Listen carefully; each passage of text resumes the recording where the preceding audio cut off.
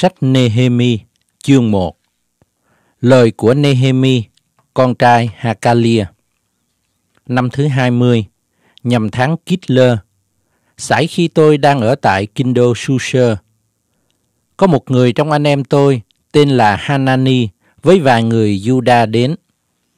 Tôi hỏi thăm chúng về dân Juda đã được thoát khỏi, tức những kẻ đã bị bắt làm phu tù còn sót lại – và hỏi luôn về những việc Jerusalem. Các người ấy nói với tôi rằng, những kẻ bị bắt làm phu tù còn sót ở lại trong tỉnh, bị tai nạn và sỉ nhục lắm. Còn vách thành của Jerusalem thì hư nát và các cửa nó đã bị lửa cháy. Khi tôi nghe các lời ấy, bèn ngồi mà khóc, cư tan mấy ngày.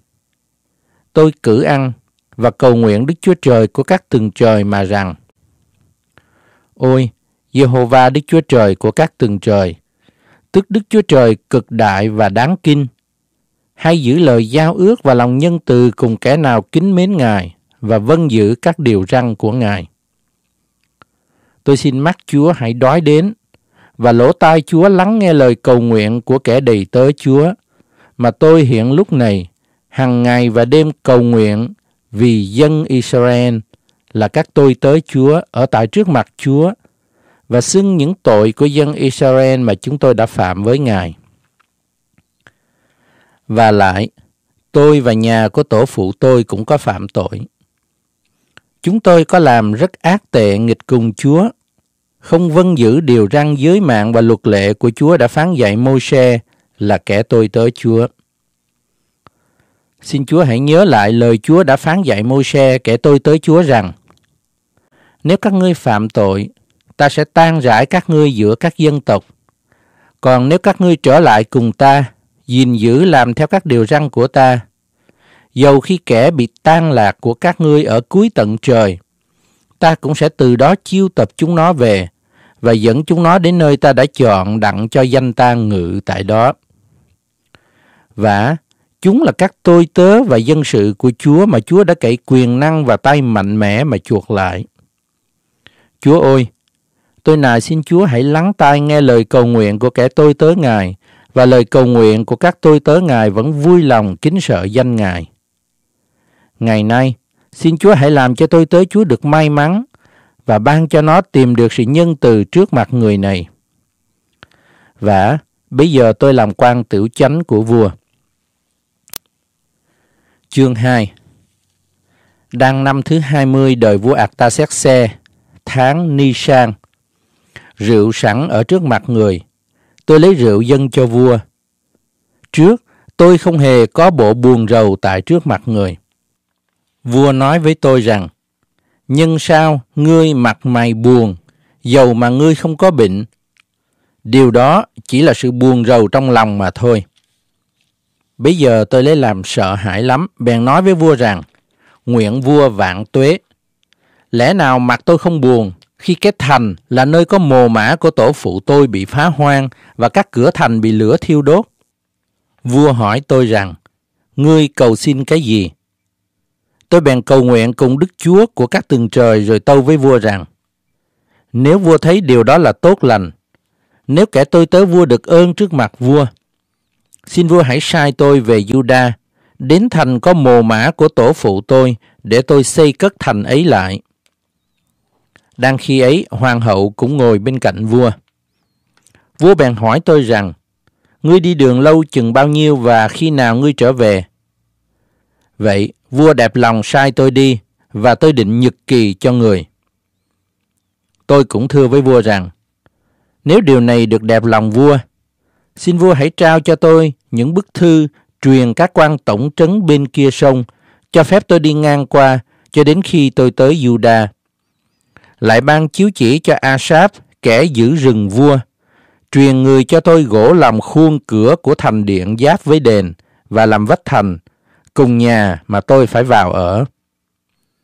Vua bèn ban cho tôi các điều đó, tùy theo tay nhân lành của Đức Chúa Trời tôi giúp đỡ tôi. Vậy, tôi đến cùng các quan tổng trấn bên kia sông, vào trao cho họ những bức thư của vua. Và vua có sai những quan tướng và quân kỵ đi với tôi. Khi sang Ba Lát, người Horon và Tobia là kẻ tôi tớ Ammon hay điều đó, thì lấy làm bất bình, vì có người đến đặng tìm kiếm sự hưng thịnh của dân Israel. Vậy, tôi đến Jerusalem và ở tại đó ba ngày. Tôi và mấy người cùng theo tôi bằng trỗi dậy ban đêm. Tôi chẳng cho ai hay biết sự gì Đức Chúa Trời đã khiến lòng tôi toan làm vì Jerusalem.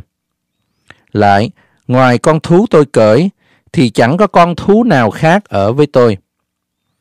Ban đêm, tôi ra nơi cửa trũng, đối ngang suối chó rừng và đến cửa phân, xem xét các vách thành của Jerusalem bị hư nát và các cửa nó bị lửa thiêu đốt.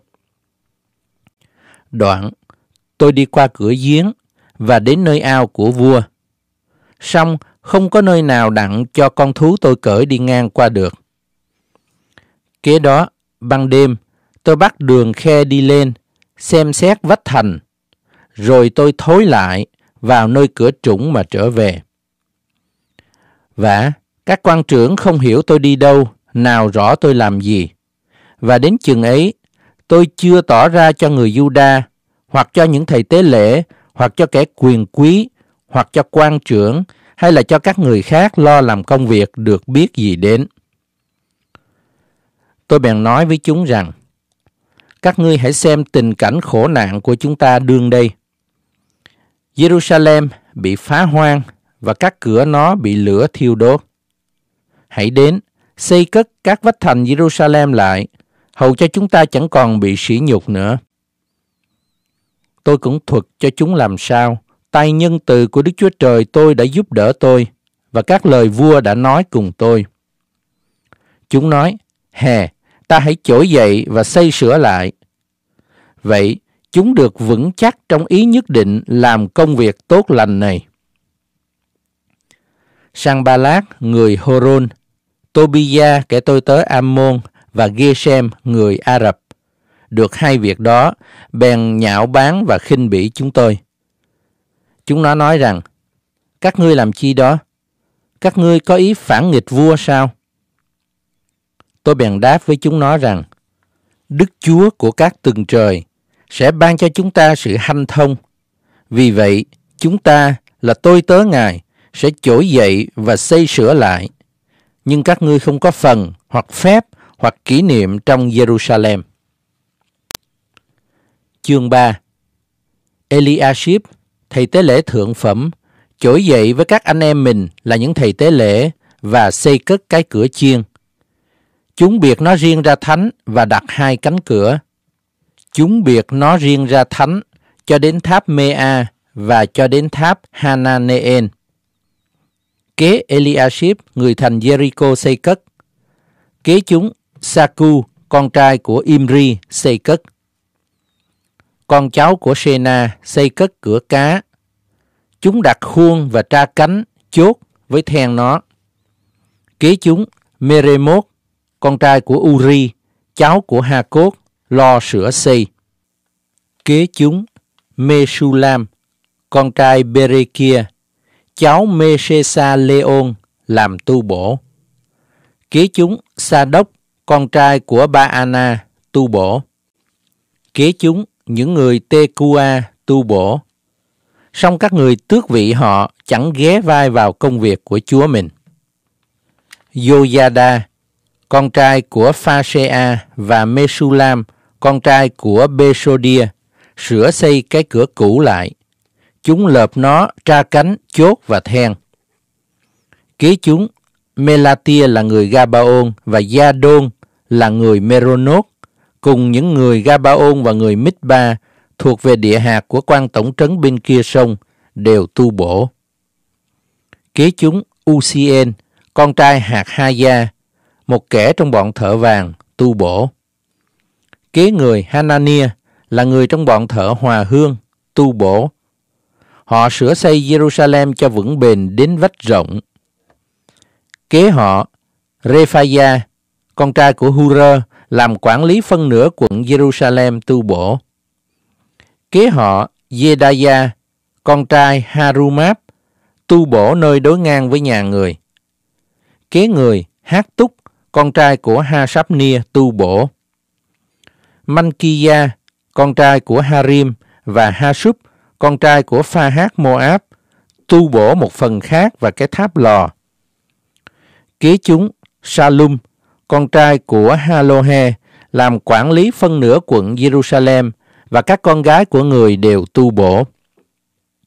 Hanun và dân cư Sanoa sửa cái cửa trũng. Chúng xây cất nó, tra cánh cửa, chốt và then. Cũng xây một ngàn thước vách ngăn cho đến cửa phân. Mankiya, con trai Rekab, quản lý quận Beth Hakerem, sửa cái cửa phân. Người xây cất nó, tra cánh cửa, chốt và then.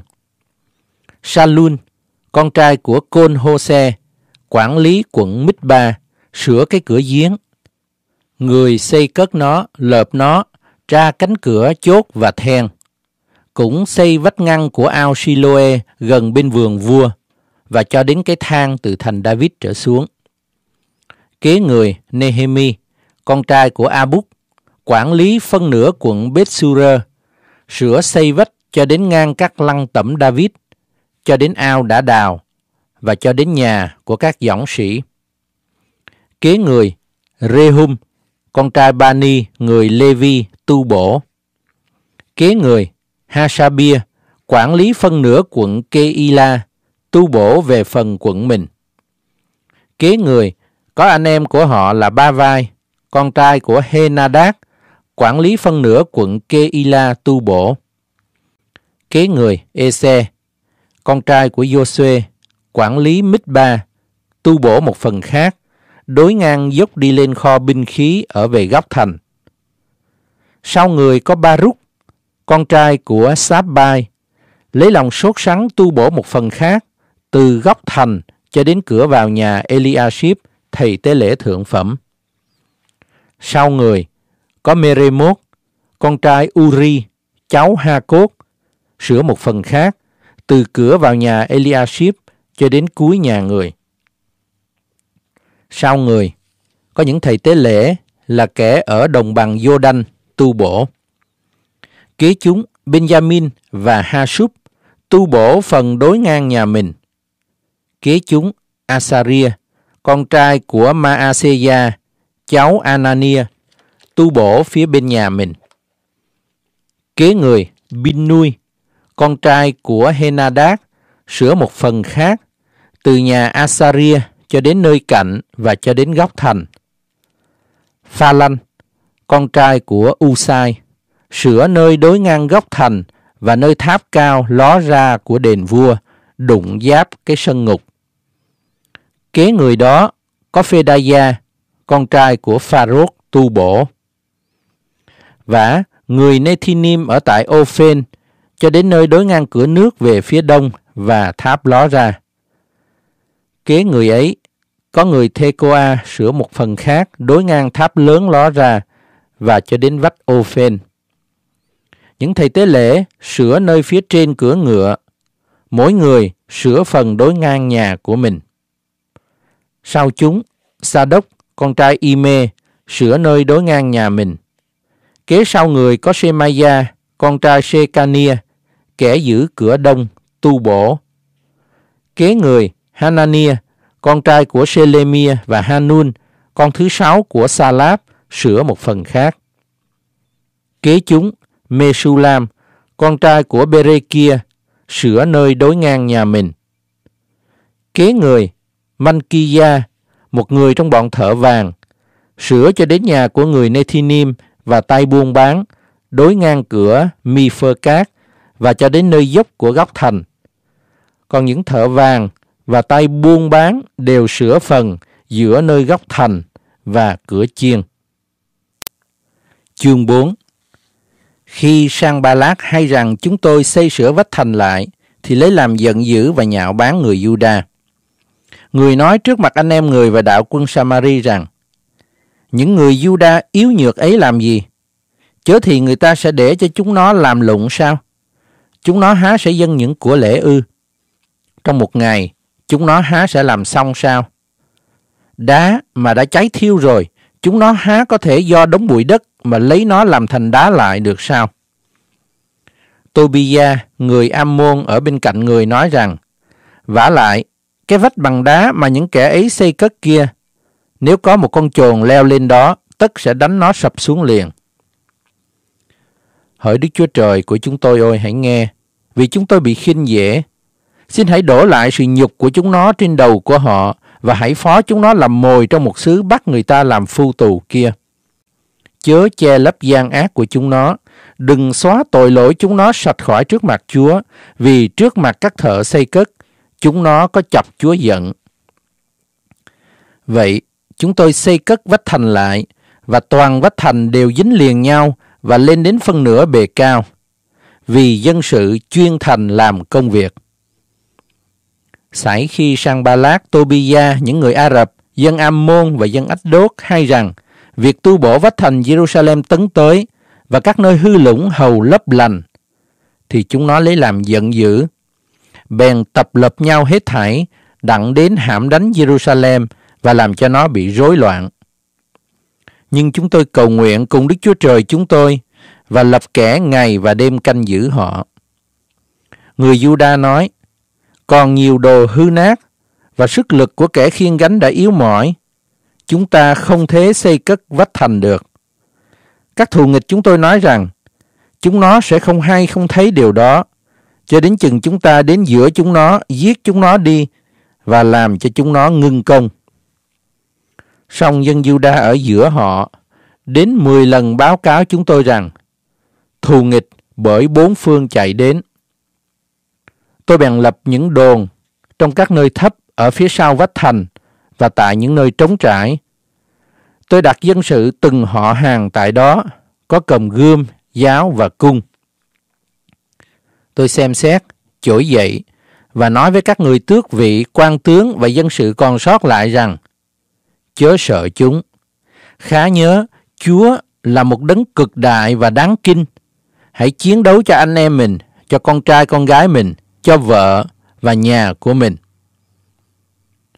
Khi các thù nghịch chúng tôi hay rằng chúng tôi đã được báo tin và Đức Chúa Trời có bại mưu của chúng nó, thì hết thảy chúng tôi đều trở lại nơi vách thành, ai nấy về làm công việc mình.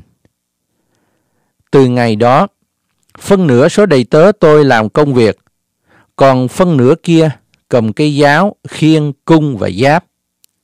Các quan trưởng đều đứng ở sau cả nhà Juda. Những kẻ xây sửa vách thành, những kẻ khiên gánh và những kẻ chất lên, một tay thì làm công việc, còn một tay thì cầm binh khí mình. Những kẻ xây sửa, ai nấy đều có cây gươm mình đeo nơi lưng, rồi xây sửa, còn kẻ thổi kèn thì ở bên tôi. Tôi nói với các người tước vị, các quan trưởng và dân sự còn sót lại mà rằng, công việc thì lớn và dài, còn chúng ta làm rải rác ở trên vách, người này cách xa người kia. Tại nơi nào các ngươi nghe tiếng kèn, thì hãy nhóm lại cùng chúng ta ở đó. Đức Chúa Trời của chúng ta sẽ chiến đấu cho chúng ta. Chúng tôi làm công việc là như vậy.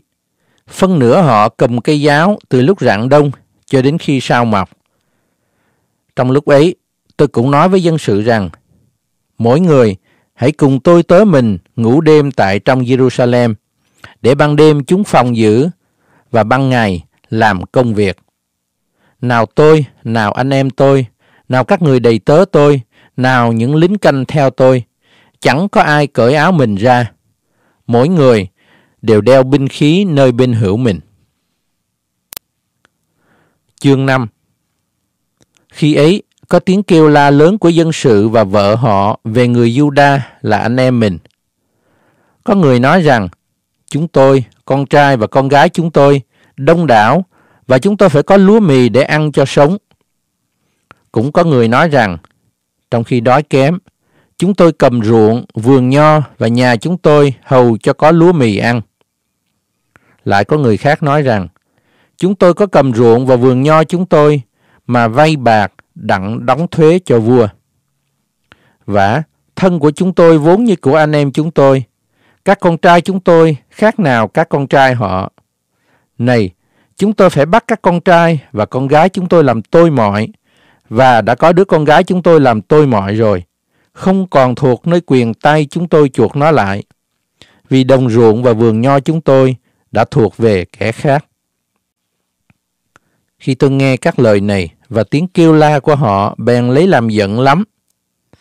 Lòng tôi bàn tính về điều đó, cãi lẫy với những người tước vị và các quan trưởng mà rằng các ngươi buộc tiền lời cho mỗi người anh em mình. Tôi nhóm lại một hội đông đảo đối nghịch chúng mà nói rằng cứ theo quyền chúng ta có, chuộc lại anh em chúng ta là người Juda mà đã bị bán cho các dân tộc, mà các ngươi lại muốn bán anh em mình sao? Chớ thì họ sẽ bị bán cho chúng ta sao? Chúng bèn làm thinh, chẳng biết nói chi nữa. Tôi lại nói, điều anh em làm chẳng được tốt. Anh em há chẳng đáng lẽ ăn ở cách kính sợ Đức Chúa Trời, e bị sỉ nhục giữa các dân tộc là thù nghịch của chúng ta sao? Tôi, anh em tôi và các đầy tớ tôi cũng có cho họ vay mượn bạc và lúa mì vậy. Nhưng tôi xin anh em hãy bỏ cái ăn lời này. Tôi xin anh em chín ngày này, hãy trả lại cho họ đồng ruộng, vườn nho, vườn olive và nhà cửa của họ, cùng lời một phân trăm về bạc lúa mì, rượu và dầu mà anh em đã bắt họ nộp. Chúng nói rằng, chúng tôi sẽ trả lại và không đòi họ chi hết. Chúng tôi sẽ làm như vậy, y ông đã nói. Tôi đòi những thầy tế lễ bắt chúng thề phải làm theo như lời hứa đó. Tôi cũng vũ vạt áo tôi mà rằng, phàm ai không giữ làm theo lời hứa này, nguyện Đức Chúa Trời hãy vũ hắn khỏi nhà và khỏi hoa lợi của công lao hắn. Nguyện hắn bị vũ sạch không như vậy. Cả hội chúng đồng nói, Amen. Chúng ngợi khen Đức Giê-hô-va. Đoạn dân sự đều làm theo lời hứa ấy. vả lại, từ ngày tôi được lập làm tổng trấn trong xứ Juda, tức từ năm thứ 20 cho đến năm thứ 32 đời vua Ata xét xe, cộng trong 12 năm, tôi hoặc anh em tôi chẳng ăn lương lộc thường cấp cho quan tổng trấn. Nhưng các quan tổng trấn đã đến nhậm trước tôi, bắt dân sự cấp dưỡng, lấy cho mình lương thực và rượu, trừ ra 40 siết lơ bạc. Đến đổi, các đầy tớ họ cũng lấn lướt trên dân sự nữa. Nhưng tôi không có làm như vậy vì cớ kính sợ Đức Chúa Trời. Lại, tôi cũng giữ bền vững trong công việc xây sửa vách này, chẳng có mua đồng ruộng nào, và các đầy tớ tôi đều hội hiệp lại đó đặng làm công việc. Nơi bàn ăn tôi, cũng có 150 người Juda và quan trưởng, ngoại trừ những kẻ ở giữa các dân tộc chung quanh chúng tôi đi đến. Vả, người ta dọn ăn cho mỗi ngày một con bò, sáu con chiên chọn lựa. Người ta cũng dọn những gà vịt, và mỗi 10 ngày đủ các thứ rượu rất nhiều. Dầu như vậy, tôi cũng không đòi lương lộc của phần tổng trấn, vì công dịch lấy làm nặng nề cho dân sự này. Hỡi Đức Chúa Trời tôi ơi, nguyện Chúa nhớ lại tôi về các điều tôi đã làm cho dân sự này và làm ơn cho tôi.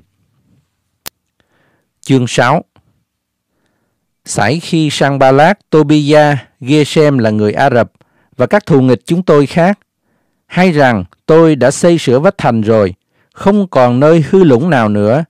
Dầu cho đến lúc ấy tôi chưa tra cánh cửa, thì sang Ba Lát và Gesem sai đến nói với tôi rằng, hãy đến, ta sẽ gặp nhau trong một làng nào tại trũng Ono.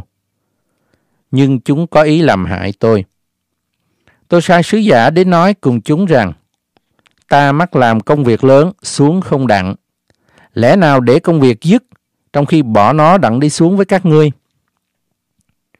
Chúng sai nói với tôi bốn lượt như vậy. Xong tôi đáp lại với chúng cũng y nhau. Lần thứ năm, Sang Ba Lát sai kẻ tôi tớ người, cũng như cách cũ, có cầm thơ không niêm nơi tay.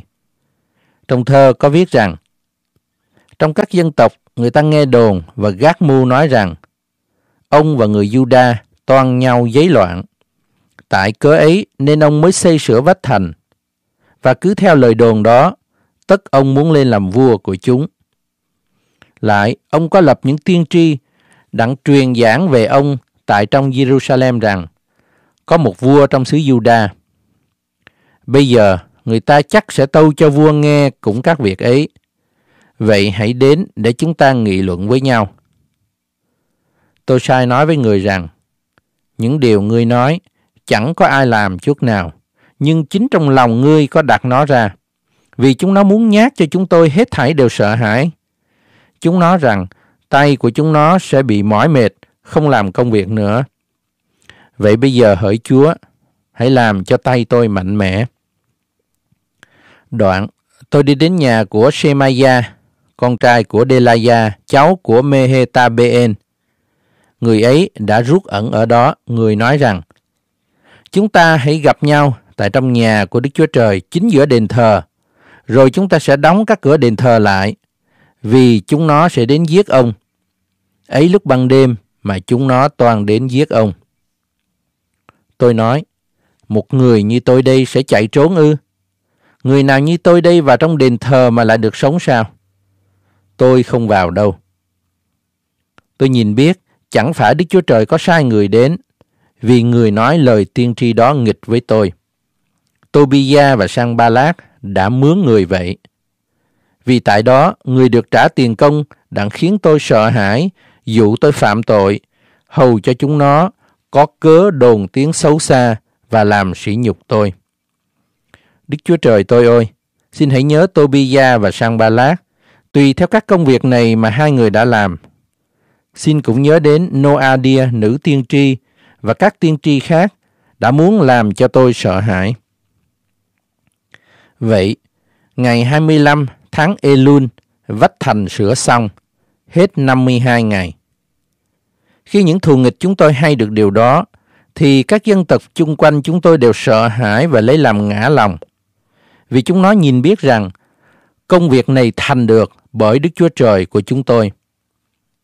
Cũng trong những ngày ấy, có các người tước vị của xứ Juda gửi lắm thơ từ cho Tobia và Tobia đáp thơ gửi lại cho chúng. Vì tại Juda có nhiều kẻ đã thề kết hiệp với người, bởi người là rể của Shekania, con trai của Ara, và Johanan, con trai người, đã cưới con gái của Mesulam, là con trai của Berekia. Chúng cũng nói trước mặt tôi những việc tốt lành của người, và chúng học lại cho người các lời của tôi. Còn Tobia gửi thơ để làm cho tôi sợ hãi. Chương 7 Khi vách thành đã xây xong, và tôi đã tra các cánh cửa, lập những người giữ cửa, kẻ ca hát và người Lê-vi trong chức việc của họ, thì tôi giao phó việc cai trị Jerusalem cho Hanani em tôi và cho Hanania quan tể cung, vì là một người trung tín và kính sợ Đức Chúa Trời hơn nhiều kẻ khác. Tôi dặn chúng rằng, chớ mở các cửa Jerusalem trước khi mặt trời nắng nóng. Người ta phải đóng cánh cửa và gài then lại trong lúc kẻ giữ cửa còn ở tại đó. Lại phải đặt người trong dân Jerusalem thay phiên mà canh giữ. Mỗi người đứng canh nơi đối ngang nhà mình. Vả thành thì rộng rãi lớn lao, còn dân sự ở trong nó lại ít, và nhà mới thì chưa có cất. Đức Chúa Trời tôi có cảm động lòng tôi chiêu tập những người tước vị, các quan trưởng và dân sự, đặng đem chúng vào sổ từng gia phổ. Tôi có tìm đặng một cuốn bộ gia phổ của những người đã trở lên lần đầu, và trong đó tôi thấy có ghi rằng, này là các người tỉnh Juda, từ nơi làm phu tù được trở lên, tức những kẻ thuộc trong bọn bị Nebuchadnezzar bắt dẫn tù. Chúng trở lại Jerusalem và xứ Juda, ai nấy đều về bổn thành mình. Chúng trở về với Sorobaben, Yeshua, Nehemi, Asaria, Raamia, Nahamani, Magdoche, Binh Sang, Mitberet, Biết Vai, Nehun và Baana. Này là số tu bộ những người nam của dân Israel. Về con cháu Pharaoh, 2.172 người. Về con cháu Sephatia, 372 người. Về con cháu Ara, 652 người. Về con cháu Pha Hát Moab, con cháu của Giê-xua và Joab, có 2.818 người. Về con cháu Elam, 1.254 người. Về con cháu Sát Tu, 845 người. Về con cháu Sát Cai, 760 người. Về con cháu Bin Nui, 648 người. Về con cháu Bê Bai, 628 người. Về con cháu Agat, 2.322 người. Về con cháu Adonikam, 667 người. Về con cháu Biết Vai, 2.067 người. Về con cháu Adin, 655 người. Con cháu Ate về dòng dõi Ezechia có 98 người. Về con cháu Hasum, 328 người. Về con cháu Beshai, 324 người. Về con cháu Harib, 112 người. Về con cháu Gabaon, 95 người.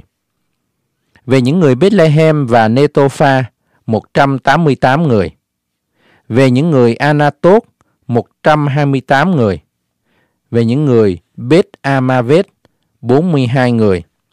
Về những người Kiriat Yearim, người Kephira và người Beerot, 743 người. Về những người Rama và Geba, 621 người. Về những người Mitma, 122 người.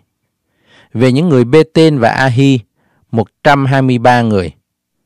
Về những người Nebo khác, 52 người.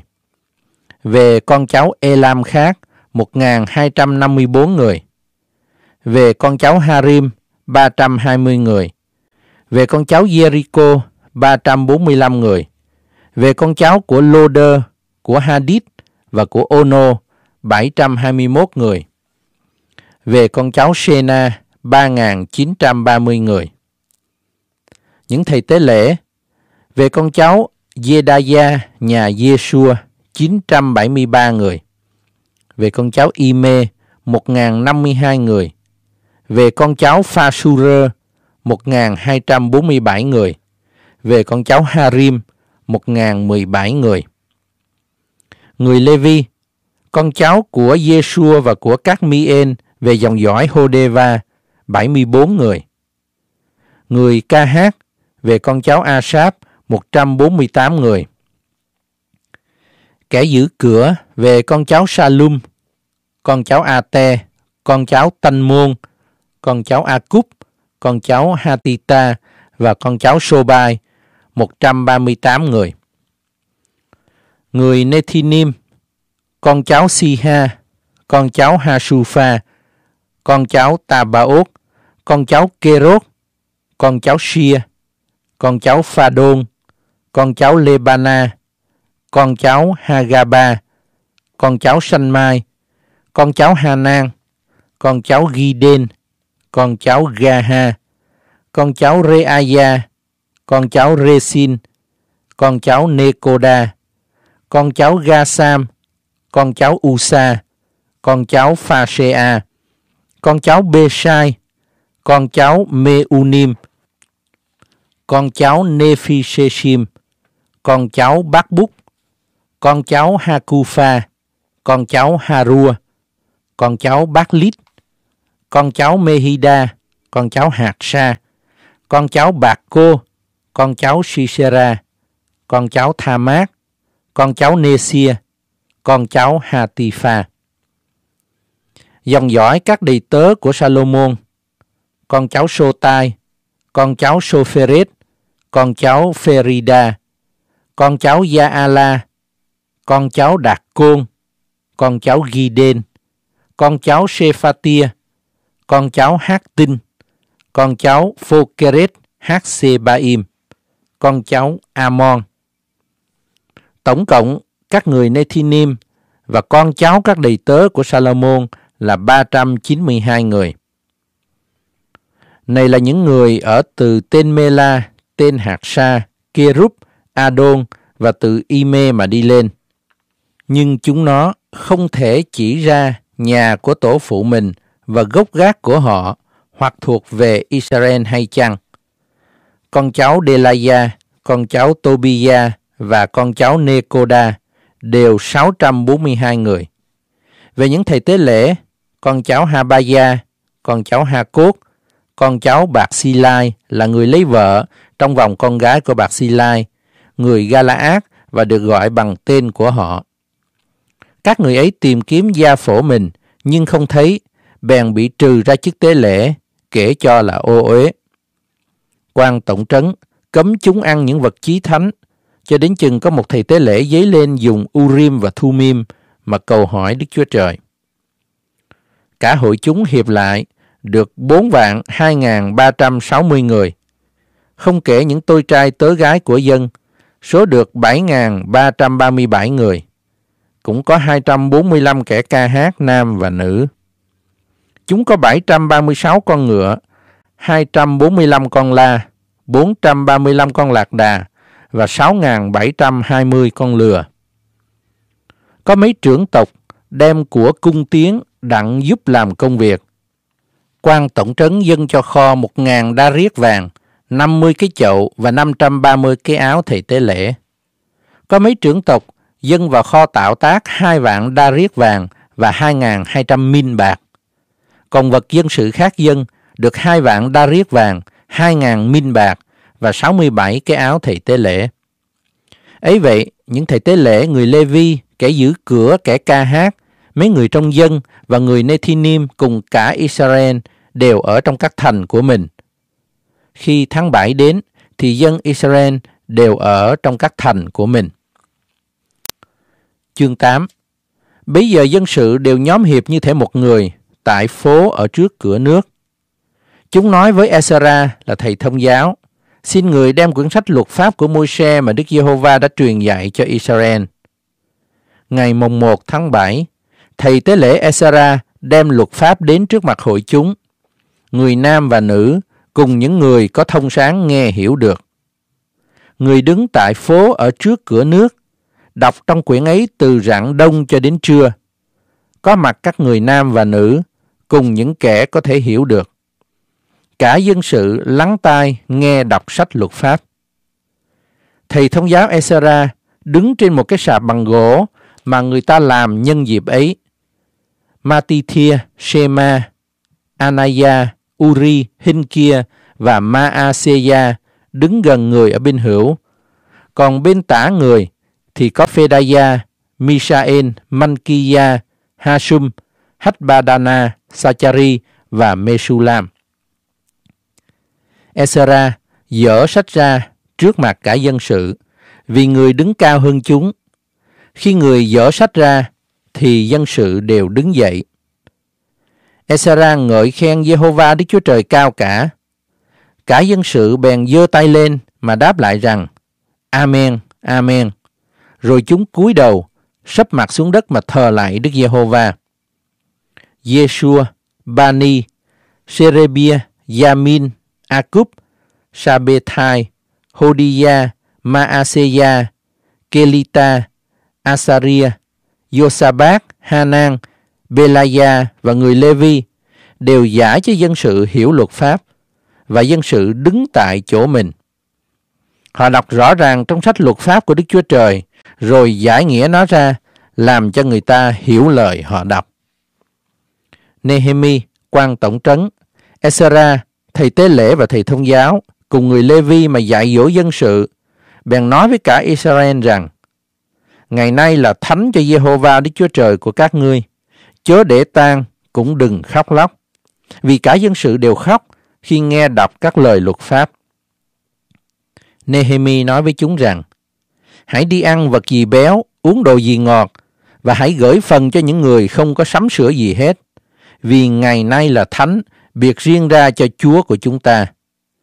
Chớ buồn thảm, vì sự vui vẻ của Đức Giê-hô-va là sức lực của các ngươi. Vậy người Lê-vi làm cho cả dân sự đều được yên ổn mà rằng Khá nín đi, vì ngày nay là thánh, đừng sầu thảm chi. Cả dân sự bèn đi đặng ăn và uống, gửi cho những phần cùng vui vẻ lắm, vì chúng có hiểu các lời người ta đã truyền dạy cho mình. Qua ngày thứ hai, các trưởng tộc của cả dân sự, những thầy tế lễ và người Lê-vi đều nhóm lại bên Esra là người thông giáo đặng chú ý nghe các lời của luật pháp. Chúng thấy có chép trong luật pháp rằng Đức Giê-hô-va cậy Mô-se phán rằng dân Israel phải ở trong nhà lều đang lúc lễ tháng 7 và chúng phải hô truyền trong các thành và tại Jerusalem nghe rằng hãy đi kiếm trong núi những nhánh olive và olive rừng, những nhánh cây sim, những tàu lá kè và những nhánh cây rậm đặng làm những nhà lều y như đã chép. Dân sự bèn đi ra đem các lá ấy về. Mỗi người đều làm nhà lều trên nóc nhà mình, ngoài sân mình, trong hành lang của đền Đức Chúa Trời, nơi phố của cửa nước và nơi phố của cửa Ephraim. Cả hội chúng của những kẻ bị bắt làm phu tù được trở về, bèn cất những nhà lều và ở trong đó. Từ đời Joshua, con trai của Nun cho đến ngày ấy, dân Israel chẳng có làm gì giống như vậy. Bèn có sự rất vui mừng. Mỗi ngày, từ ngày đầu cho đến ngày chót, người đọc trong sách luật pháp của Đức Chúa Trời. Chúng ăn lễ bảy ngày, còn qua ngày thứ tám có một lễ trọng thể tùy theo luật lệ. Chương 9 Ngày 24 tháng ấy, dân Israel nhóm lại, cử ăn, mặc bao và phủ bụi đất. Dòng Israel chia rẽ các người ngoại, đứng dậy xưng tội lỗi mình và sự gian ác của tổ phụ mình. Chúng đứng dậy tại chỗ mình, đọc trong sách luật pháp của Jehovah Đức Chúa Trời mình, lâu đến phần tư ngày. Trong một phần tư khác, chúng xưng tội và thờ lại Jehovah Đức Chúa Trời của họ. Bây giờ, Yeshua, Bani, Cadmien, Shebania, Bunni, Sherebia, Bani và Kenani đứng dậy tại trên sạp người Levi và kêu cầu lớn tiếng cùng Jehovah Đức Chúa Trời mình. Khi ấy, những người Levi là Yeshua, Cadmien, Bani, Hasapnia, Sherebia, Hodia, Shebania và Phetahia nói rằng Hãy đứng dậy, ngợi khen Jehovah Đức Chúa Trời của các ngươi là đấng hằng có đời đời kiếp kiếp. Đáng khen ngợi danh vinh hiển của Ngài vẫn trỗi cao hơn các sự chúc tụng và các lời khen ngợi. Ôi, chỉ một mình Chúa là Đức Giê-hô-va có một không hai. Chúa đã dựng nên các tầng trời và trời của các tầng trời cùng toàn cơ binh của nó, trái đất và các vật ở trên nó, biển và muôn vật ở dưới nó. Chúa bảo tồn những vật ấy và cơ binh của các tầng trời đều thờ lại Chúa. Chúa ơi, Chúa là Jehovah Đức Chúa Trời mà đã chọn Abraham, đem người ra khỏi U-rơ của dân canh đê và ban cho người tên Abraham. Chúa thấy lòng người trung thành tại trước mặt Chúa, và Chúa lập giao ước với người, đặng ban cho dòng dõi người xứ của dân Canaan, dân Hethit, dân Amorit, dân Pheresit, dân Jebusit và dân Giregashit. Chúa có làm ứng nghiệm lời của Chúa vì Chúa là công bình. Chúa có thấy sự khốn khổ của tổ phụ chúng tôi tại Egypto, có nghe tiếng kêu la của chúng tôi bên biển đỏ, làm những dấu kỳ phép lạ nơi Pharaon, nơi đầy tớ người và nơi toàn dân sự của nước người. Vì Chúa biết rằng họ có đối đãi tổ phụ chúng tôi cách kiêu căng và Chúa có làm nổi danh Chúa như thể ngày nay. Chúa có phân rẽ biển trước mặt chúng nó, để chúng nó đi ngang qua giữa biển trên đất khô. Còn những kẻ đuổi theo, Chúa bèn ném họ dưới vực sâu, như ném đá trong nước lớn. Ban ngày, Chúa dẫn dắt chúng bằng một trụ mây, và ban đêm bằng một trụ lửa để chiếu sáng cho chúng trong con đường phải đi theo. Chúa cũng giáng lâm tại trên núi Sinai, phán với chúng từ trên trời, ban cho chúng những luật lệ ngay thẳng, pháp độ chân thật và những quy tắc cùng điều răn tốt lành. Chúa khiến cho chúng biết ngày sa bát thánh của Chúa, cậy môi xe tôi tớ của Chúa, truyền cho chúng những điều răn, quy tắc và luật pháp. Từ các tầng trời, Chúa ban cho chúng bánh đặng ăn đói, khiến hòn đá chảy ra nước cho chúng uống khát, phán biểu chúng vào nhận lấy xứ mà Chúa đã thề ban cho chúng. Nhưng tổ phụ chúng tôi cư xử cách kiêu hãnh, cứng cổ mình, không nghe các điều răn của Chúa, chẳng khứng vâng theo và không nhớ đến các phép lạ mà Chúa đã làm giữa chúng. Nhưng chúng cứng cổ mình, và trong sự bội nghịch mình, cắt một kẻ làm đầu đặng trở về nơi nô lệ của họ. Nhưng Chúa vốn một Đức Chúa Trời sẵn tha thứ hay làm ơn và thương xót, chậm nóng giận và dư đầy nhân từ. Chúa không có lìa bỏ chúng. Dẫu khi chúng làm một con bò con đực mà rằng, này là thần đã dẫn các ngươi lên khỏi Egypto và chọc cho Chúa giận nhiều, thì Chúa vì sự thương xót của Chúa không lìa bỏ chúng trong đồng vắng. Trụ mây dẫn đường ban ngày, không lìa khỏi trên chúng, hoặc trụ lửa lúc ban đêm chiếu sáng và chỉ cho chúng con đường chúng phải đi. Chúa cũng ban cho chúng thần linh lương thiện của Chúa để dạy dỗ cho chúng, không từ chối cho miệng chúng ăn mana và ban cho chúng nước đặng uống khác. Phải, Chúa nuôi dưỡng chúng 40 năm trong đồng vắng. Chúng chẳng thiếu thốn chi cả. Quần áo chúng không cũ rách và chân chúng chẳng phù lên. vả lại, Chúa ban cho chúng những nước và dân tộc và phân phát nước ấy cho chúng. Chúng nhận được nước của Si-hôn, tức nước của vua Hết-bôn và nước của óc vua Ba Sang. Chúa cũng thêm nhiều con cháu chúng đông như sao trên trời, đưa chúng vào xứ mà Chúa đã phán cùng tổ phụ chúng rằng chúng sẽ vào đó đặng nhận lấy xứ ấy. Vậy, con cháu chúng bèn vào và nhận lấy xứ và Chúa bắt phục trước mặt họ các dân của xứ là dân Canaan. Phó dân ấy và những vua chúng nó cùng các dân tộc của xứ vào tay họ, đặng họ đãi các dân ấy theo ý mình muốn. Họ chiếm lấy những thành bền vững và ruộng đất màu mỡ, được những nhà đầy các vật tốt lành, những giếng đào, vườn nho, vườn olive và cây trái rất nhiều. Chúng ăn, bèn được no nê và mập béo, vui lòng trong sự nhân từ lớn lao của Chúa. Dù vậy, chúng chẳng vâng theo, bèn phản nghịch với Chúa, ném bỏ luật pháp Chúa sau lưng, giết các đấng tiên tri của Chúa là người làm chứng nghịch cùng họ, đặng đem họ trở lại cùng Chúa. Xong chúng lại chọc giận Chúa nhiều thay. Vì vậy, Chúa phó họ vào tay cừu địch của họ. Chúng nó hà hiếp họ. Trong thời hoạn nạn, chúng kêu cầu cùng Chúa, thì từ các tầng trời Chúa có nghe đến, theo lòng nhân từ lớn lao của Chúa. Chúa bèn ban cho những đấng giải cứu để cứu chúng khỏi tay kẻ cừu địch mình. Nhưng khi chúng được an tịnh, bèn khởi làm lại điều ác trước mặt Chúa. Vì vậy, Chúa bỏ chúng vào tay kẻ thù nghịch để quản hạt chúng. Song khi chúng trở lại kêu cầu cùng Chúa, thì Chúa từ trên trời nghe đến và vì lòng thương xót Chúa nên giải cứu chúng nhiều lần. Chúa cũng làm chứng nghịch cùng chúng để dẫn dắt chúng trở lại luật pháp của Ngài. Dầu vậy, chúng cư xử cách kiêu ngạo, không nghe các điều răn Chúa, phạm đến luật lệ của Chúa là luật lệ nếu người nào vâng làm theo, tất sẽ được sống. Chúng ở chấp nhất, cứng cổ mình và không khứng nghe theo. Chúa dung thứ chúng nhiều năm và cậy thần linh và các tiên tri của Chúa mà làm chứng nghịch cùng chúng. Nhưng chúng không lắng tai nghe, nên Chúa phó chúng vào tay dân tộc của các xứ.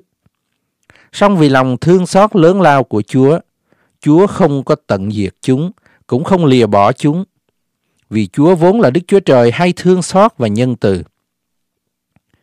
Vậy bây giờ, hỡi Đức Chúa Trời của chúng tôi ơi, là Đức Chúa Trời rất lớn, rất quyền năng và đáng sợ, hằng giữ giao ước và sự nhân từ.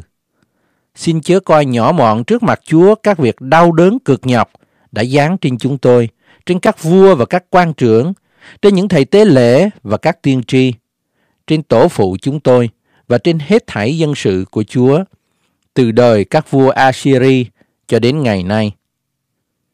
Trong mọi việc đã xảy đến cho chúng tôi, Chúa vẫn là công bình vì Chúa thi hành cách chân thật, còn chúng tôi lại làm cách hung ác.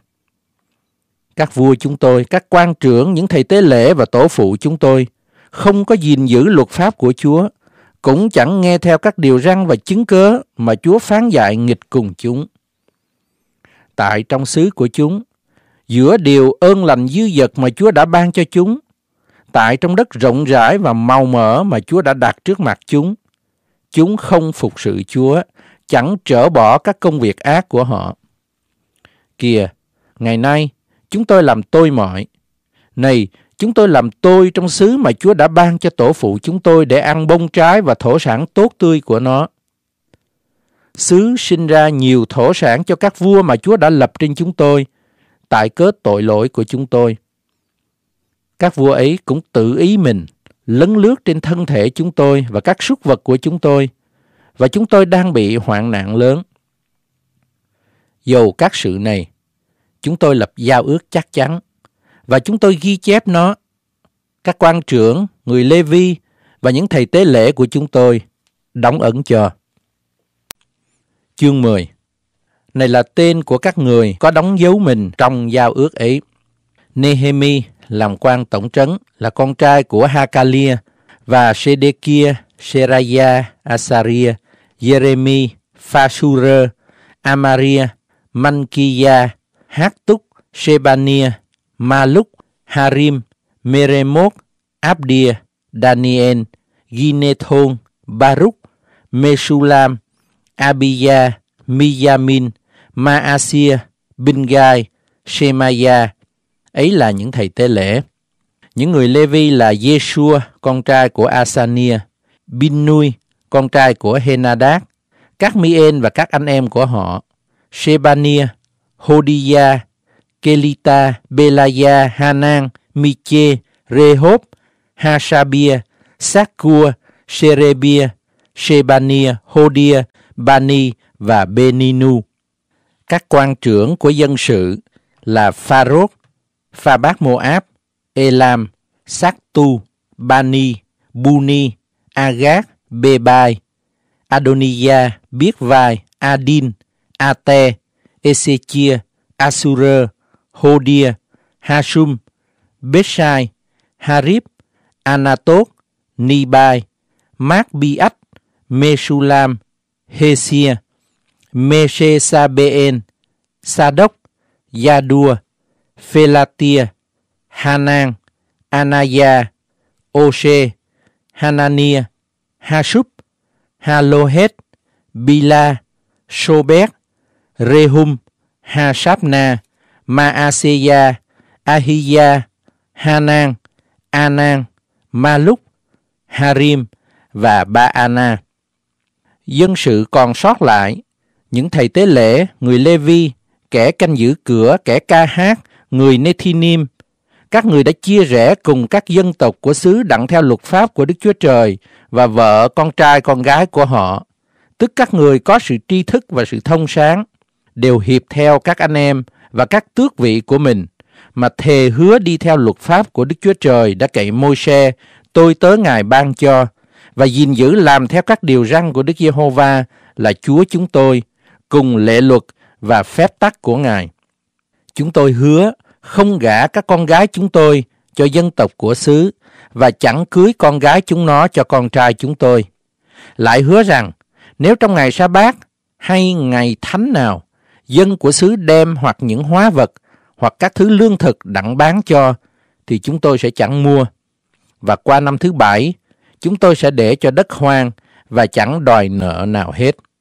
Chúng tôi cũng định lấy lệ, buộc chúng tôi mỗi năm dân một phần ba siết lơ dùng về công việc của đền Đức Chúa Trời chúng tôi, về bánh trần thiết, về của lễ chay thường dân, về của lễ thiêu hằng hiến, về của lễ dân trong ngày sa bát, trong ngày mồng một và trong các ngày lễ trọng thể, lại dùng về các vật thánh, về của lễ chuộc tội cho dân Israel và về các công việc làm trong đền Đức Chúa Trời của chúng tôi. Chúng tôi là những thầy tế lễ, người Lê Vi và dân sự khác, bắt thăm về việc dân củi lửa đặng mỗi năm theo kỳ nhất định tùy nhà tổ phụ mình mà đem những củi đến đền của Đức Chúa Trời chúng tôi hầu cho đốt trên bàn thờ của Jehovah Đức Chúa Trời của chúng tôi y như đã chép trong luật pháp vậy. Chúng tôi cũng định mỗi năm đem vật đầu mùa của đất chúng tôi và các thứ trái đầu mùa của các cây chúng tôi đến đền của Đức Giê-hô-va, lại chiếu theo luật pháp, đem luôn con đầu lòng trong vòng các con trai chúng tôi và con đầu lòng của súc vật chúng tôi, hoặc chiên hay bò, đến đền thờ Đức Chúa Trời chúng tôi, mà giao cho những thầy tế lễ hầu việc trong đền của Đức Chúa Trời chúng tôi. Chúng tôi cũng hứa đem của đầu mùa về bột nhồi của chúng tôi, về của lễ dơ lên, bông trái của các thứ cây, rượu mới và dầu mà giao cho những thầy tế lễ trong các kho tàng của đền Đức Chúa Trời chúng tôi. Còn một phần mười huê lợi đất của chúng tôi thì đem nộp cho người Lê Vi, vì người Lê Vi thâu lấy một phần mười trong thổ sản của ruộng đất về các thành chúng tôi. Thầy tế lễ, con cháu của Aaron, sẽ đi với người Lê Vi khi họ thâu lấy thuế một phần mười, rồi họ sẽ đem một phần mười của trong thuế một phần mười ấy đến đền của Đức Chúa Trời chúng tôi, để tại nơi phòng của kho tàng. Vì dân Israel và người Lê Vi sẽ đem các của lễ dơ lên bằng lúa mì, rượu và dầu mới vào trong những phòng ấy, là nơi có các khí dụng của đền thánh. Những thầy tế lễ hầu việc, kẻ canh cửa và những người ca hát. Vậy, chúng tôi sẽ chẳng lìa bỏ đền của Đức Chúa Trời chúng tôi đâu. Chương 11 Các quan trưởng của dân sự đều ở tại Jerusalem, còn dân sự khác thì bắt thăm để cho một trong mười người của chúng đến ở tại Jerusalem là thành thánh và chín người kia thì ở trong các thành khác. Dân sự chúc phước cho các người nam nào tình nguyện ở tại Jerusalem. Và đây là những quan trưởng hàng tỉnh ở tại Jerusalem. Nhưng trong các thành Juda, ai nấy đều ở trong đất mình tại trong bổn thành của mình. Ấy là dân Israel, những thầy tế lễ, người Levi, người Nethinim và con cháu của các tôi tớ Salomon. Có mấy người Juda và người Benjamin ở tại Jerusalem. Về người Juda có Athaya, con trai của Usia, cháu của Sachari, chắc của Amaria, chít của Shephatia. Shephatia là con trai của Mahalalen, thuộc về dòng dõi Phêrết. Lại có Maaseya, con trai của Baruch, cháu của Côn Hose, chắc của Hasaya, chít của Adaya. Adaya là con trai của Yoyarib, cháu của Sachari về dòng dõi Shiloni. Các con cháu của Pheret ở tại Jerusalem là 468 người mạnh dạng. Về người Benjamin có Salu, con trai của Mesulam, cháu của Joed, chắc của Phedaya, chít của Kolaya. Kolaya là con trai của Maaseya, cháu của Etn, chắc của Esai. Và sau người có Gabbai và Salai cùng 928 người. Joel, con trai của Sikhri làm quan trưởng của chúng. Còn Juda, con trai của Hasenua, làm phó quản thành. Trong những thầy tế lễ, có Jedaya, con trai của Yoyarib, Yakin và Seraya, con trai của Hinkia, cháu của Mesulam, chắc của Sa-đốc, chít của Merayot. Merayot là con trai của Ahitub, là quản lý đền của Đức Chúa Trời, cùng các anh em họ làm công việc của đền là 822 người. Lại có Adaya, con trai của Jeroham, cháu của Phelalia, chắc của Amshi, chít của Sachari. Sachari là con trai của Phasura, cháu của Mankiya, cùng các anh em họ đều là trưởng tộc, số là 242 người. Cũng có Amasai, con trai của Asaren, cháu của Aksai, chắc của Meshilemot, chít của Ime và các anh em họ, đều là người mạnh dạng và can đảm, số được 128 người. Sabdien, con trai của Gedolim làm quan trưởng của chúng.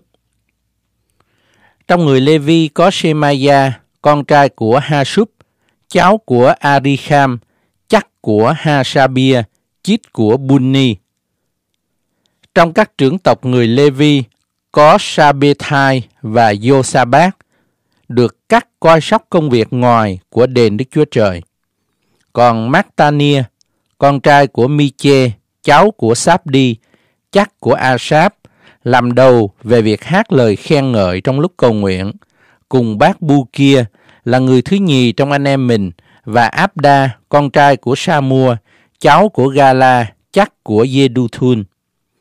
Hết thảy người Levi ở trong thành thánh được 284 người.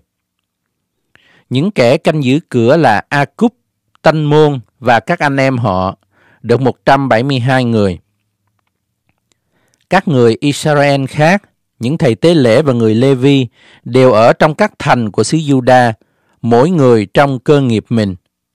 Người Nethinim đều ở tại Ophen, Siha và Gitba làm quan trưởng của người Nethinim. Uzi, con trai của Bani, cháu của Hasabia, chắc của Martania, chít của Miche về dòng dõi Asap, là kẻ ca hát, được đặt cai trị người Levi tại Jerusalem, lo làm công việc của đền Đức Chúa Trời. Vì có lệnh vua truyền về việc của chúng và có một phần lương định cấp cho những kẻ ca hát, ngày nào cần dùng theo ngày nấy.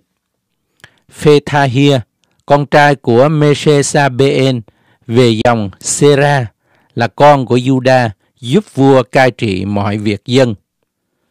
Còn về các hương thôn và đồng ruộng của nó, có mấy người Juda ở tại Kiriath Araba và trong các làng nó, tại Dibon và các làng nó, tại Jecap Sen và các làng nó, tại Yeshua, Molada, Bethphele, Hát Sa Su Anh BEC3 và trong các làng nó, tại Siết Lạc, Mekona và trong các làng nó, tại Enrimon, Sora, Giạc Mút, tại Sanoa, Adulam và các làng nó, tại trong Laki và các đồng ruộng nó, trong ACK và các làng nó. Vậy, chúng ở từ BEC3 cho đến trũng Hinnom.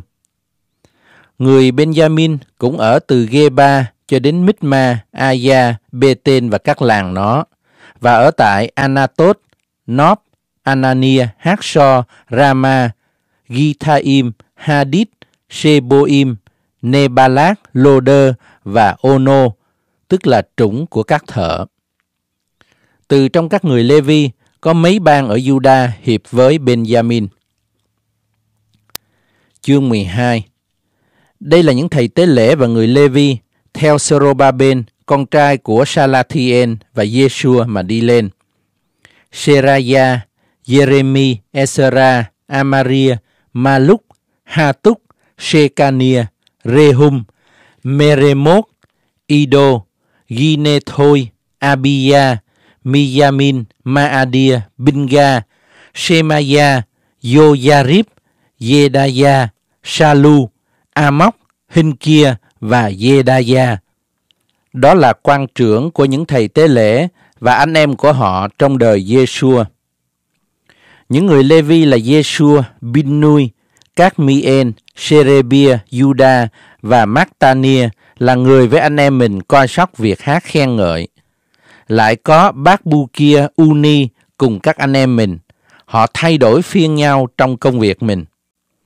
Yeshua sanh Joachim, Joachim sanh Eliashib, Eliashib sanh Yoyada, Yoyada sanh Jonathan, Jonathan sanh Yadua. Này là trưởng tộc của những thầy tế lễ trong đời Joachim, về họ Seraya, Meraya, về họ Jeremy, Hanania, về họ Esra, Mesulam, về họ Amaria, Johanan, về họ Meluki, Jonathan, về họ Shebania, Joseph, về họ Harim, Akna, về họ Merayot, Henkai, về họ Ido, Sachari, về họ Ginethon, Mesulam, về họ Abia, Siegri, về họ Minjamin và Moadia, Phintai, về họ Binga, Samua, về họ Shemaya, Jonathan, về họ Yoyarib, Martenai, về họ yedaya Usi, về họ Salai, Kalai, về họ Amok, Ebe, về họ Hinkia, hashabia về họ yedaya Nethaneen. Về người Levi, các trưởng tộc của họ đã biên tên vào sổ trong đời của Eliashib, Yoyada, Yohanan và Yadua. Còn những thầy tế lễ thì biên tên vào sổ trong đời Darius nước Pharisee. Các trưởng tộc của người Levi có ghi tên vào sách sử ký cho đến đời Johanan, con trai của Eliashib. Các trưởng tộc của người Levi, Hasabia, Serebia và Yeshua, con trai của các Mien và các anh em người đứng đối nhau từng ban từng thứ, đặng ngợi khen và cảm tạ, tùy theo lệnh của David, người của Đức Chúa Trời. Mactania, Bác Obadia, Mesulam, Tanmon Môn và Akub là kẻ canh giữ cửa, giữ các kho bên cửa thành. Các người này ở về đời Joachim, con trai của Yeshua, cháu Yosadak, về đời Nehemi quan tổng trấn và về đời Esra làm thầy tế lễ và văn sĩ. Khi khánh thành các vách thành Jerusalem, thì người ta sai gọi các người Lê-vi ở khắp mọi nơi đặng đem chúng về Jerusalem để dự lễ khánh thành cách vui vẻ, có tiếng khen ngợi và ca hát theo chập chọa, đờn cầm và đờn sắt. Các người ca hát đều hiệp lại từ đồng bằng xung quanh Jerusalem, các làng người Netophatit, lại từ Beth Gingan, từ đồng bằng Geba và Atmavet, vì những người ca hát đã xây cho mình các làng ở chung quanh thành Jerusalem.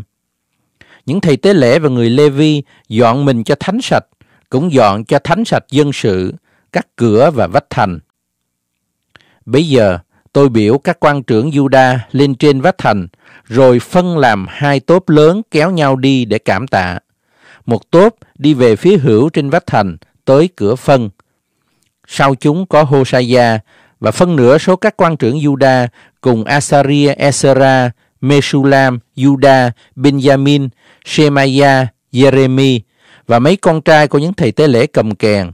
Sachari, con trai của Jonathan, cháu của Shemaiah, chắc của Matania, chít của Miche. Miche là con trai của sát cua, cháu của Asap, cùng các anh em người là Shemaiah, Asaren, Milalai, Gilalai, Maai, Nethaneel, Juda và Hanani cầm những nhạc khí của David người của Đức Chúa Trời và Esra người văn sĩ đi ở đằng trước chúng. Từ cửa suối ở ngay mặt, chúng đi thẳng lên các nấc thành David, tại nơi đốc vách thành ở trên đền David và đến cửa nước về phía đông. Còn Tốp cảm tạ thứ nhì đi trên vách thành đối ngang lại với Tốp thứ nhất. Còn tôi đi ở sau họ với phân nửa dân sự, từ tháp các lò cho đến vách rộng, đi qua trên cửa Ephraim gần bên cửa cũ, cửa cá, tháp Hananeel và tháp Mea đến cửa chiên.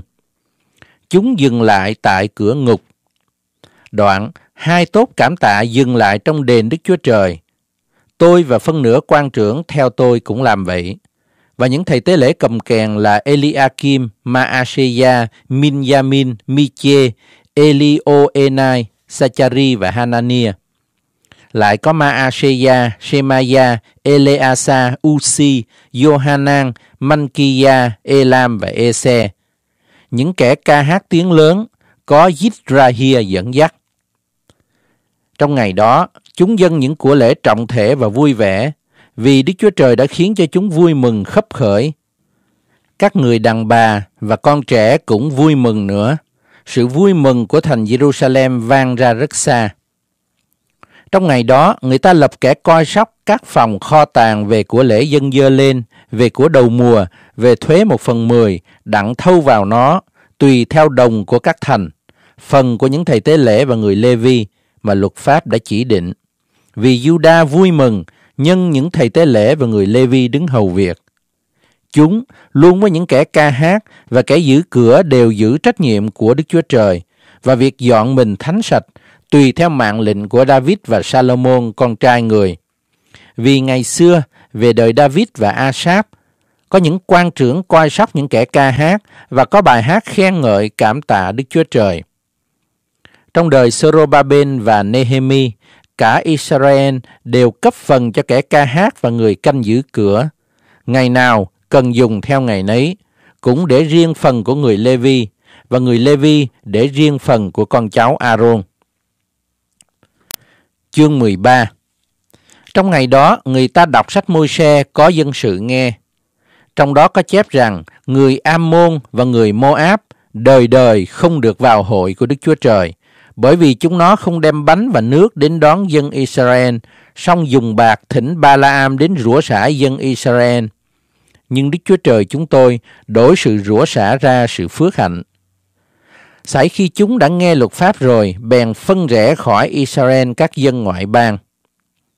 Và trước việc đó, thầy tế lễ Eliashib mà đã được lập coi sóc các phòng của đền Đức Chúa Trời chúng tôi và là bà con với Tobia, có sắm sửa cho người ấy một cái phòng lớn là nơi trước người ta dùng để những của lễ chay, hương liệu, khí dụng, thuế một phần mười về lúa mì, rượu mới và dầu, tức những vật theo lệ đã định cho người Lê-vi, kẻ ca hát và người canh giữ cửa, luôn với của lễ dân dơ lên của thầy tế lễ.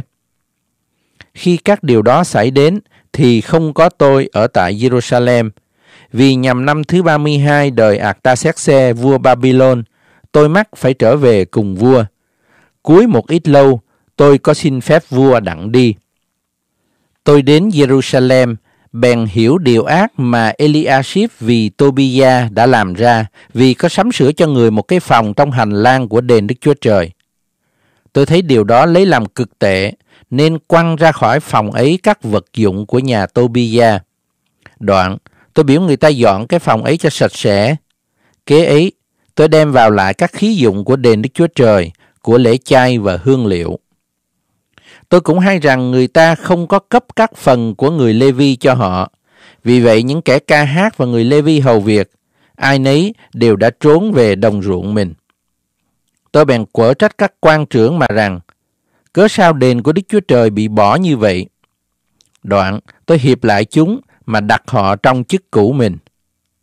Bây giờ, cả Juda đều đem đến trong kho thuế một phần mười về lúa mì, rượu mới và dầu. Tôi đặt Selemia, thầy tế lễ Sa Đốc, Ký Lục và Phedaya trong các người Lê-vi coi các kho tàng. Còn Hanan, con trai của sát cua, cháu Matania làm phó. Các người ấy được kể là trung thành và bổn phận chúng là phân phát vật cho anh em mình. Đức Chúa Trời tôi ơi, vì cớ điều này xin nhớ đến tôi và chớ bôi xóa các việc tốt lành mà tôi đã làm vì đền của Đức Chúa Trời tôi và về điều phải gìn giữ tại đó.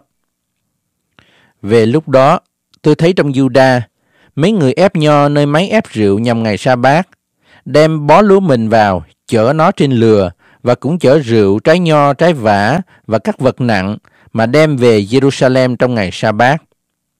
Ngày chúng nó bán vật thực ấy, tôi có làm chứng nghịch cùng chúng nó. Cũng có người Tyre ở tại đó, đem cá và các thứ hàng hóa đến bán cho người Juda và tại thành Jerusalem trong ngày sa bát. Bây giờ tôi quở trách các người tước vị Juda mà rằng, việc xấu xa các ngươi làm đây là chi mà làm cho ô uế ngày sa bát? Tổ phụ các ngươi há chẳng đã làm như vậy sao? Nên nỗi Đức Chúa Trời há chẳng có dẫn tai họa kia đến trên chúng ta và trên thành này ư? Còn các ngươi làm ô uế ngày sa bát mà tăng thêm cơn thạnh nộ cho Israel. Ấy vậy, khi các cửa Jerusalem khởi khuất trong bóng tối trước ngày sa bát, tôi bèn truyền người ta đóng cửa lại và dặn biểu chúng nó chỉ mở nó ra sau ngày sa bát. Lại cắt đặt mấy kẻ trong đầy tớ tôi giữ cửa để không ai gánh chở đồ vào thành trong ngày sa bát. Vậy, kẻ buôn người bán các thứ hàng hóa một hai lần ban đêm phải ngủ ở ngoài thành Jerusalem. Đoạn tôi quở trách chúng nó mà rằng, cớ sao các ngươi ban đêm ngủ tại trước vách thành như vậy? Nếu các ngươi còn làm nữa, tất ta sẽ tra tay trên các ngươi. Từ lúc đó về sau, chúng nó không có đến nhằm ngày sa bát nữa. Tôi dạy biểu người Lê Vi hãy dọn mình cho thánh sạch và đến canh giữ các cửa, đặng biệt ngày sa bát ra thánh. Hỡi Đức Chúa Trời tôi ơi, xin hãy vì tôi nhớ đến điều đó và xin thương xót tôi tùy sự nhân từ lớn lao của Ngài. Cũng trong lúc đó, tôi thấy những người Juda lấy đàn bà Ách Đốt, amôn và Moab làm vợ. Con cái của chúng nó nói phần nửa tiếng Ách Đốt, không biết nói tiếng Juda, nhưng nói tùy theo tiếng của dân này hay là dân kia.